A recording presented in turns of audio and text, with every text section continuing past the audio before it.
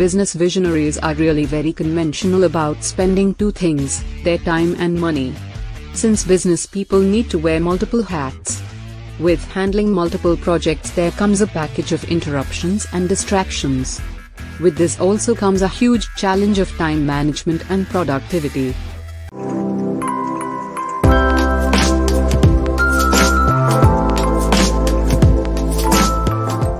Hi, I am Ami Mandavia, founder of ImProEx, the platform where we explore the science of developing a growth mindset, building productive habits, and what is required to live a healthy life.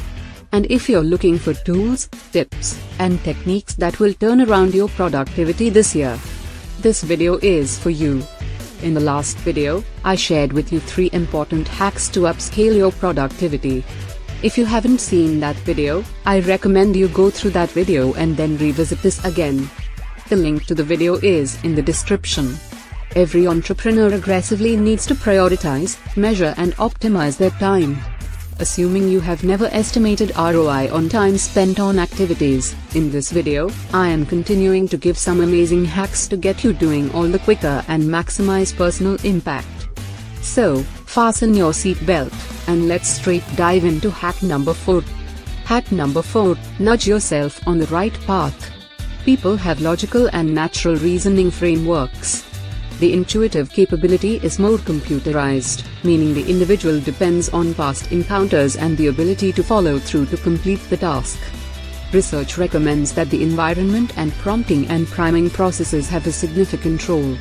In this manner, rolling out a little improvement to how you follow through with something or the choices available can boost productivity. Utilize these tips to optimize your normal workday. Silence notifications on all your devices. Set a time slot to check on your emails or take a walk. Recognize unhealthy habits and break them down in incremental steps.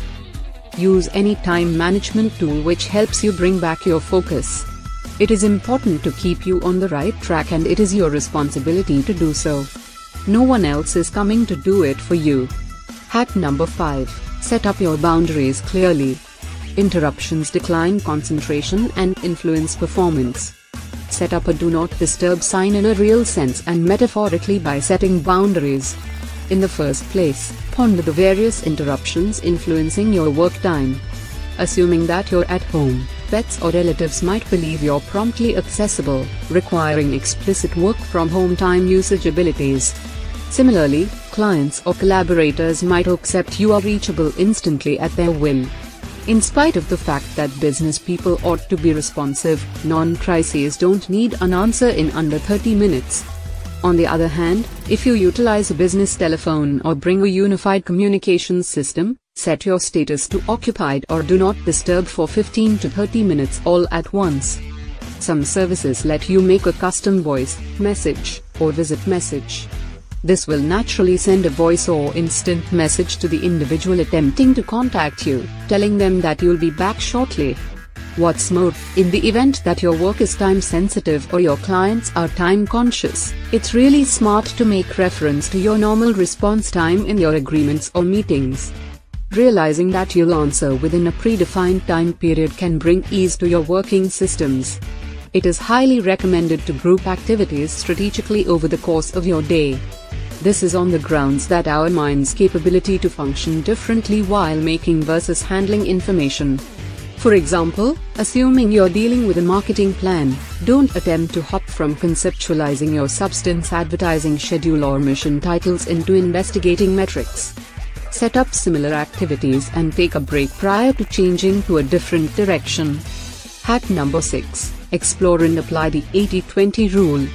The Pareto principle, or the 80-20 rule, is to be more specific about your work.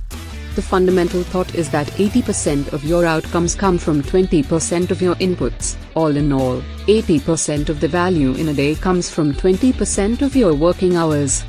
You need to learn to start identifying activities that matter the most and how can you prioritize them over others.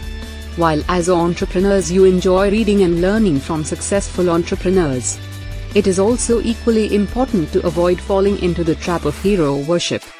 Just because you, an entrepreneur, have been successful doesn't mean you are great at everything. Probably some trick or habits work well for them does not mean it is going to work for you. Experiment with various tools, techniques, strategies, planning approaches, and productivity management techniques, and keep measuring your results. Track down a blend of strategies best suits your work style and character. Do not hesitate for even a moment to work on new approaches in your rotation. ImProEx is committed to helping you start, run and grow your small business. To stay on top of all the news impacting your small business, share and subscribe to our channel for all the latest tips and techniques to grow and flourish your business and yourself as an entrepreneur.